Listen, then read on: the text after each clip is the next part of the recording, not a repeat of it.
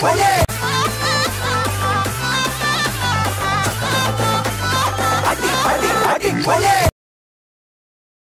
The price of flowers Prabhat Kumar കഥയുടെ ഉള്ളടക്കം നോക്കാം ഒരു സാധാരണ ഇംഗ്ലീഷ് കുടുംബത്തിന് നല്ലവനായ ഒരു ഇന്ത്യക്കാരന്റെ സ്വാതന്ത്ര്യ വാക്കുകൾ എത്രമാത്രം ആശ്വാസപ്രദമായി തീർന്നു എന്നതാണ് ദ പ്രൈസ് ഓഫ് ഫ്ലവേഴ്സ് എന്ന കഥയിൽ പറയുന്നത് മനുഷ്യ ബന്ധങ്ങളുടെ കെട്ടുറുപ്പിനെ പറ്റിയുള്ള ഒരു ചെറുകഥയാണ് ദ പ്രൈസ് ഓഫ് ഫ്ലവേഴ്സ് പതിമൂന്ന് വയസ്സുകാരിയായ മാഗി എന്ന ബ്രിട്ടീഷ് പെൺകുട്ടിയാണ് ഇതിലെ പ്രധാന കഥാപാത്രം.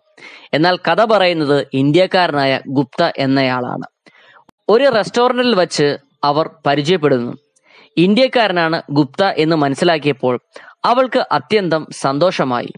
അവളുടെ ഏക സഹോദരൻ ഫ്രാങ്ക് എന്ന് വിളിക്കുന്ന ഫ്രാൻസിസ് ഇന്ത്യയിൽ ഒരു പട്ടാളക്കാരനായി ജോലി ചെയ്യുകയായിരുന്നു.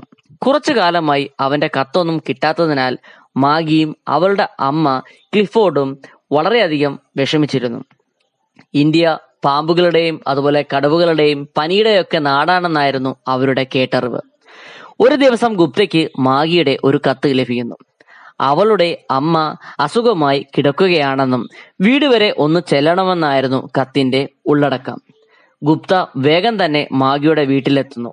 മകനെക്കുറിച്ചുള്ള ആശങ്കയാണ് രോഗം കൂടുവാൻ കാരണമെന്നും ഇന്ത്യയിൽ നിന്നും ഫ്രാങ്ക് അയച്ചു കൊടുത്തിരുന്ന ഒരു മാന്ത്രിക മോതിരം നോക്കി അവൻ സുഖമായിരിക്കുന്നു എന്ന് അമ്മയെ ബോധ്യപ്പെടുത്തണമെന്നും മാഗി ഗുപ്തയോട് ആവശ്യപ്പെടുന്നു. അന്ധവിശ്വാസമാണ് അതെന്നറിഞ്ഞിട്ടും ഗുപ്ത മാന്ത്രിക മോതിരത്തിൽ തറപ്പിച്ചു നോക്കുന്നു. അതിനുശേഷം മിസിസ് ക്ലിഫോർഡിനെ ആശ്വസിപ്പിച്ചുകൊണ്ട് പറഞ്ഞു മകന് യാതൊരു കുഴപ്പവും സംഭവിച്ചിട്ടില്ലെന്നും അവരുടെ അസുഖം മാറുകയും ചെയ്യുന്നു. ഏതാനും ദിവസങ്ങൾക്ക് ശേഷം മാഗി ഗുപ്തയ്ക്ക് പോസ്റ്റ് കാർഡിൽ ഒരു കത്തെഴുതി. ഫ്രാങ്ക് യുദ്ധത്തിൽ കൊല്ലപ്പെട്ടു എന്നായിരുന്നു അതിലെ സന്ദേശം. ഗുപ്തയ്ക്ക് തന്നെക്കുറിച്ച് തന്നെ ലജ്ജ തോന്നുന്നു. താൻ ഉടൻ തന്നെ ഇന്ത്യയിലേക്ക് തിരിച്ചു പോവുകയാണെന്ന് അദ്ദേഹം മറുപടി കത്തിൽ എഴുതി. അദ്ദേഹം തിരിക്കുമെന്ന് അറിയിച്ചിരുന്ന ദിവസം മാഗി ഗുപ്തിയുടെ വീട്ടിലെത്തുന്നു. മാഗി ഒരു ഷില്ലിംഗ് മേശപ്പുറത്ത് വച്ചിട്ടുണ്ട്. ആ പൈസ കൊണ്ട് പൂക്കൾ വാങ്ങി ഫ്രാങ്കിന്റെ കബറിടത്തിൽ അർപ്പിക്കണമെന്ന് അഭ്യർത്ഥിക്കുന്നു.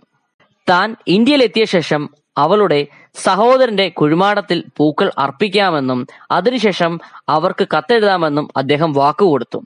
ആ പൂക്കൾ മനുഷ്യബന്ധത്തെ ആഴത്തിൽ പ്രതിഫലിപ്പിക്കുന്ന ഒന്നായിരുന്നു the price of flowers. Thank you.